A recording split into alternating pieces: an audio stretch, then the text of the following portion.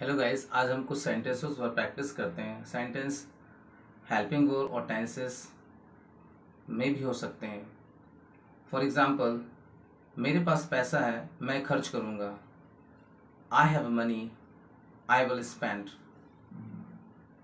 मुझको विश्वास है, मैं वहाँ जाऊँगा। I have confidence I will go there आपके पास पैसा नहीं है, इसलिए आप वहाँ नहीं जाएँगे। You don't have money. That's why you will not go there. मुझको शक है, मैं पूछूँगा। I have doubt I will ask mobile में मैसेज है, मैं उसे पढ़ लूँगा। Mobile has message I will read it